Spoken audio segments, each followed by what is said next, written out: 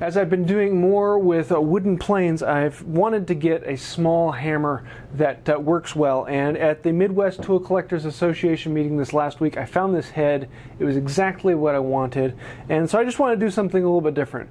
I uh, wanted to make something very organic and very uh, earthy feeling, and I think it really came out, and I'm really happy with this. And it is the exact amount of weight that I want. So just light taps, um, really make it exactly what it needs to be.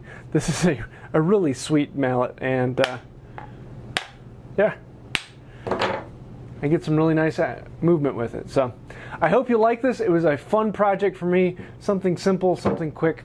If you did like it, please hit like, think about subscribing, and feel free to check out one of my other videos. You might find something you like there. And until next time, have a wonderful day.